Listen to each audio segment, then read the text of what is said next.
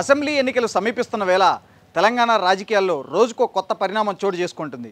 So ఈ క్రమంలో రాష్ట్ర రాజకీయాలు అయితే క్రమంగా వేడెక్కుతున్నాయని చెప్పుకోవాలి.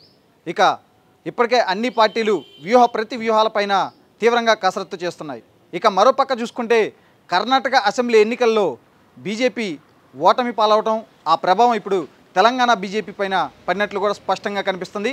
ఇక తాజాగా చూసుకుంటే తెలంగాణ రాష్ట్ర బీజేపీకి సంబంధించి కేంద్రం కూడా అనేక కీలకమైన మార్పులు కూడా చేసింది. రాష్ట్ర అధ్యక్షుడిగా బండి సంజయ్ని తొలగిస్తూ కిషన్ రెడ్డిని నియమిస్తూ ఇప్పటికే అధిష్టానం అయితే ఒక కీలక నిర్ణయం తీసుకుంది.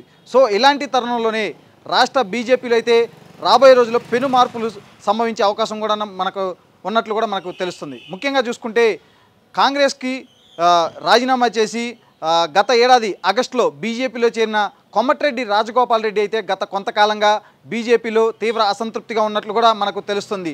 ఆయన అంటే కేంద్ర పెద్దల మాట మేరకు ఆయన కాంగ్రెస్ పార్టీకి అలాగే ఎమ్మెల్యే పదవికి రాజీనామా చేసి మునుగోడు ఉప ఎన్నికకు వెళ్ళారు. ఆ ఎన్నికలో ఆ ఉప ఎన్నికలో దాదాపు పదివేల ఓట్ల తేడాతో బీఆర్ఎస్ అభ్యర్థి చేతిలో ఓడిపోయారు. సో ఇక అప్పటి నుంచి కూడా ఆయన బీజేపీతో రాష్ట్ర బీజేపీతో పెద్దగా అంటి ముట్టినట్లుగా కూడా వ్యవహరిస్తూ వస్తున్నారు. ఇక ఆ పార్టీ రాష్ట్ర కార్యాలయానికి కూడా ఆయన వచ్చిన సందర్భాలు కూడా వేల మీద లెక్క పెట్టచ్చు. సో అంటే తనకి అంటే పార్టీలో తగిన ప్రాధాన్యత లేదు అని చెప్పి రాజగోపాల్ రెడ్డి కూడా మొదటి నుంచి భావిస్తూ వస్తున్నారు. అందుకు తగ్గట్లుగానే పార్టీలో జరుగుతున్న అంతర్గత కలహాలు కానీ ఆధిపత్య పోరు కానీ వీటన్నిటిని చూస్తూ ఉంటే ఆయన గత కొంతకాలంగా పార్టీ కార్యక్రమాలకు కానీ అలాగే పార్టీ చేపట్టిన ఏ ఏ కార్యక్రమంగా ఎటువంటి ప్రోగ్రామ్ని తీసుకొచ్చినా కానీ వాటన్నిటికీ కూడా ఆయన దూరంగా ఉంటూ వస్తున్నారు. పెద్ద యాక్టివ్గా కూడా లేరు. పైగా పార్టీలో ఆధిపత్య పోరు వీటన్నిటిని దృష్టిలో పెట్టుకొని కూడా ఆయన చాలా అసంతృప్తిగా ఉన్నట్లు కూడా మనకు తెలుస్తుంది. సో అయితే ఈ క్రమంలోనే కేంద్ర అధిష్ట అధిష్టానం రాష్ట్ర అధ్యక్షుడిగా బండి సంజయ్ తన పదవికి రాజీనామా చేశారు. కిషన్ రెడ్డిని రాష్ట్ర అధ్యక్షుడిగా నియమిస్తూ కూడా తాజాగా అయితే ఒక నిర్ణయం తీసుకుంది. అలాగే గత కొంతకాలంగా కొమటిరెడ్డి రాజగోపాల్ రెడ్డితో పాటు ఈటెల రాజేంద్ర కూడా అసంతృప్తిగా ఉన్నారు. ముందు చూసుకుంటే రాష్ట్ర నాయకత్వం పైన అటు బండి సంజయ్ పైన కానీ కేంద్రం వ్యవహరిస్తున్న తీరుపైన కూడా వీరిద్దరూ అసంతృప్తిగా ఉంటూ వస్తున్నారు. సో ఇలాంటి తరుణంలో వీరిద్దరు కొద్ది రోజుల కిందట ఢిల్లీ వెళ్ళారు. ఢిల్లీలో కూడా అటు అమిత్ షాతో అలాగే జేపీ నడ్డాతో కూడా భేటీ అయ్యారు. ఆ భేటీ తర్వాత కూడా వీరిద్దరు కూడా అసంతృప్తిగానే ఉన్నట్లు కూడా మనకు తెలుస్తుంది. అయితే ఈ ముఖ్యంగా వీరిద్దరి అసంతృప్తిని చల్లార్చే క్రమంలో బాగా భాగంగా తాజాగా ఈటెల రాజేంద్రకి అయితే ఒక కీలక పదవిని అయితే అప్పచెప్పింది అధిష్టానం. ముఖ్యంగా ఈటెల రాజేంద్రకు రాష్ట్ర ఎన్నికల నిర్వహణ కమిటీ చైర్మన్గా నియమిస్తూ కూడా ఈటెల రాజేంద్రకి ఒక కీలకమైన బాధ్యత అయితే అప్పచెప్పింది ఇదే క్రమంలో చూసుకుంటే కోమటిరెడ్డి రాజగోపాల్ రెడ్డికి ఎటువంటి బాధ్యతలు ఎటువంటి పదవి ఇవ్వకపోవడం కూడా ఆయన మరింత అసంతృప్తిగా ఉన్నట్లు కూడా తెలుస్తుంది. మరోపక్క చూసుకుంటే ఆయన గత గత కొంతకాలంగా కూడా అనేక ప్రచారాలు అయితే వస్తూ ఉన్నాయి.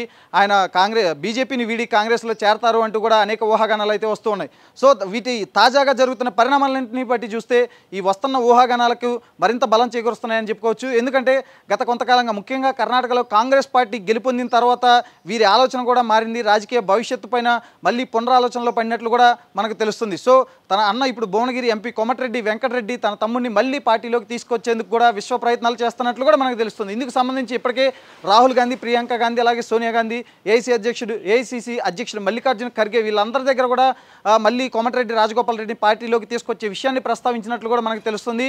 ఈ అలాగే డీకే శివకుమార్ ఎవరైతే కర్ణాటక ఉప ముఖ్యమంత్రి ఎవరైతే ఉన్నారో డీకే శివకుమార్ కూడా ఇప్పుడు తెలంగాణ కాంగ్రెస్ వ్యవహారాలను ఆయన పరోక్షంగా అయితే చూస్తున్నారు. సో డీకే శివకుమార్ దగ్గర కూడా ఈ విషయాన్ని కోమటిరెడ్డి వెంకటరెడ్డి ప్రస్తావించినట్లు తెలుస్తుంది. సో ఎలాగైనా తన తమ్ముడిని మళ్ళీ కాంగ్రెస్ పార్టీలోకి తీసుకురావాలి అనే ప్రయత్నాలు అయితే జరుగుతున్నాయి. ఇలాంటి తరుణంలోనే ఇప్పుడు పదవుల కేటాయింపు అనేది కూడా బీజేపీలో మరొక చిచ్చు రేపిందని చెప్పుకోవచ్చు. సో కోమటిరెడ్డి రాజగోపాల్ రెడ్డి కూడా ఎలాంటి ప్రాధాన్యత లేకపోవడం లేకపోవటం ఇదే టైంలో ఇటీవల కాంగ్రెస్ పార్టీలో చేరిన పొంగులేటి శ్రీనివాసరెడ్డి కూడా తాజాగా మంగళవారం ఆయన వీరిద్దరు కూడా భేటీ అవ్వటం ఒక అయితే ఒక ప్రాధాన్యత రాజకీయ ప్రాధాన్యత అయితే సంతరించుకుంది. ఇక రాబోయే రోజుల్లో ఖచ్చితంగా మరికొద్ది రోజుల్లో ఇప్పటికిప్పుడు కాకపోయినా కానీ ఎన్నికల సమయం నాటికి కూడా రాజగోపాల్ రెడ్డి అయితే కాంగ్రెస్ పార్టీలో చేరతారు అనేది కూడా దాదాపు ఖాయమైనట్లు కూడా మనకు తెలుస్తుంది. అయితే ఇప్పటివరకు మనకున్న సమాచారం మేరకు అయితే ఏ రాజగోపాల్ రెడ్డి మరొకసారి ఎమ్మెల్యేగా పోటీ చేయాలని భావిస్తున్నట్లు కూడా మనకు తెలుస్తుంది. ఎల్బీ నగర్ నుంచి ఎమ్మెల్యేగా పోటీ చేసి కాంగ్రెస్ పార్టీ కనుక అధికారంలోకి వస్తే మంత్రి పదవి చేపట్టాలనే ఒక ఆశతో కూడా ఆయన ఉన్నట్లు కూడా తెలుస్తుంది. మరోపక్క చూసుకుంటే అంటే గత కొద్ది రోజులుగా వచ్చిన ఊహాగానాలను బట్టి చూస్తే ఏ రాజగోపాల్ రెడ్డికి మళ్ళీ యాస్టీస్గా గతంలో ఆయన భువనగిరి ఎంపీగా పనిచేశారు. ఆ తర్వాత ఎమ్మెల్యేగా ఉన్నారు ఎమ్మెల్సీగా కూడా పనిచేశారు కాంగ్రెస్ పార్టీ తరఫు నుంచి. సో మరొకసారి ఎంపీగా పంపించాలి అని చెప్పి కూడా కాంగ్రెస్ అధిష్టానం ఆలోచనలో ఉన్నట్లయితే తెలుస్తుంది. ఆయన భార్య లక్ష్మికి మాత్రం మునుగోడు టికెట్ కేటాయించాలని యోచనలో కూడా ఉన్నట్టు తెలుస్తుంది. సో ఇవన్నీ అయితే ఇప్పటివరకు అయితే ఊహాగానాలు. బట్ ఆయన మాత్రం మళ్ళీ కాంగ్రెస్ పార్టీలోకి రావడం అనేది అయితే దాదాపు ఖాయమైందని మనకు చెప్పుకోవచ్చు. అంటే ఇప్పటివరకు ఎక్కడ ఎటువంటి అఫీషియల్ ఇదైతే లేదు కానీ బట్ జరుగుతున్న పరిణామాలను బట్టి ఒక ఒక నిశ్చితంగా పరిశీలిస్తే కనుక ఖచ్చితంగా ఆయన ఇప్పటికిప్పుడు కాకపోయినా ఎలక్షన్ నాటికి కూడా ఆయన ఖచ్చితంగా హస్తం గుడికి చేరడం అయితే ఖాయంగా కనిపిస్తుంది. మరోపక్క చూసుకుంటే బీజేపీలో రఘునందన్ దుబ్బాక ఎమ్మెల్యే ఎవరైతే ఉన్నారో రఘునందన్ రావు ఆయన కూడా ఇటు రాష్ట్ర నాయకత్వం పైన కానీ కేంద్ర నాయకత్వం పైన కానీ ఆయన అసంతృప్తిగా ఉన్నట్లు కూడా ఇటీవల ఆయన మీడియాతో చేసిన చిట్ చాట్లో కూడా అది స్పష్టంగా బయటపడింది. ముఖ్యంగా బండి సంజయ్ పైన ఆయన వ్యవహరిస్తున్న తీరుపైన అలాగే తరుణ్ చుక్ పైన వీరందరిపైన కూడా ఆయన కొన్ని కీలకమైన సంచలన కామెంట్స్ చేశారు. సో దాని పర్యవసనం ఆ తర్వాత రోజే రాష్ట్ర అధ్యక్షుడు బండి సంజయ్ని మార్చడం ఇవన్నీ జరిగిపోయాయి. సో రాష్ట్ర అధ్యక్షుడు బండి సంజయ్ని మార్చినప్పటికీ కూడా ఇటు రఘునందన్ రావు అయితే పార్టీలో ఒక కీలకమైన పదవి ఆశిస్తున్నారు. బట్ అది ఇప్పటికైతే ఏమి జరగలేదు. సో ఇదే తరుణంలో చూసుకుంటే రఘునందన్ కూడా ఇటు పార్టీ తీరుపైన పార్టీ పెద్దల వ్యవహరిస్తున్న శైలిపైన కూడా ఆయన అసంతృప్తిగా ఉన్నారు. ఆయన కూడా మరికొద్ది రోజుల్లో రాబోయే రోజుల్లో ఖచ్చితంగా బీజేపీని వీడతారు.